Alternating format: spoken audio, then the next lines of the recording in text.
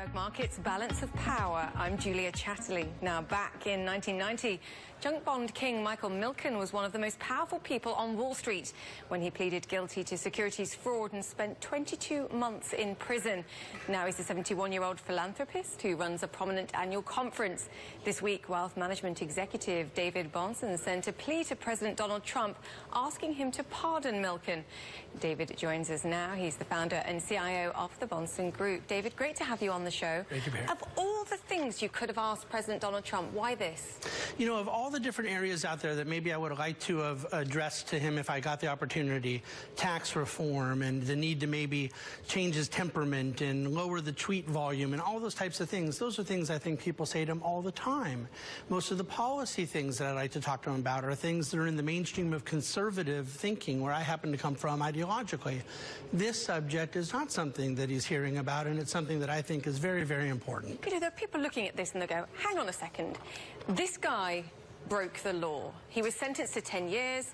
He only served 22 months again, why would you choose this as a, a touch button subject? I, I, don't believe that anybody would say that he broke the law who's actually studied the subject thoroughly that could easily quantify what laws he broke. I don't really believe that the judge even knew what laws he exactly broke. Milken ended up pleading guilty when they extorted or leveraged his brother's arrest against him. When he knew that they were going to go after his brother, that's when Michael Milken ended up pleading guilty. But ultimately, most people, as you bring up, up in the sort of public sentiment believe he went to jail for inside trading. He most certainly did not.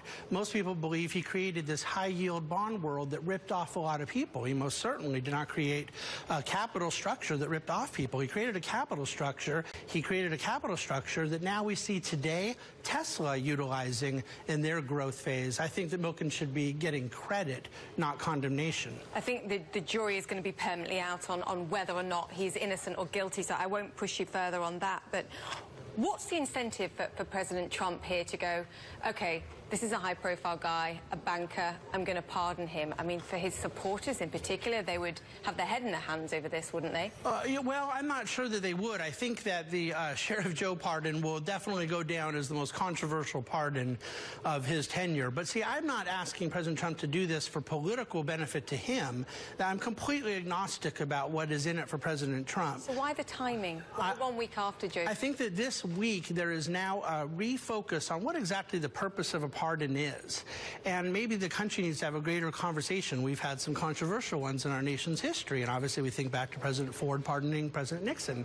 But um, in terms of the symbolic value of a pardon of Michael Milken, to sort of purge ourselves from that, uh, in my mind, egregious prosecutorial abuses of the 19, late 1980s, I think it would have tremendous effect in reinforcement that we stand behind our capital markets and that we no longer want to tolerate these sort of broad and class envy driven prosecutions.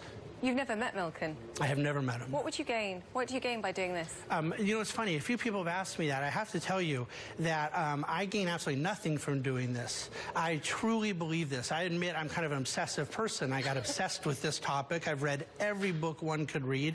I did not enter the subject and my study of it uh, sort of with a presupposition that Michael Milken was innocent as I went further and further into it. But I'll tell you the two people that most sort of persuaded me that there were some real abuses that went on. And those were the prosecutors that brought the case. And I think, of course, the former Giuliani, who I hold in very high regard, who is an outspoken advocate of a pardon of Michael Milken, who he prosecuted.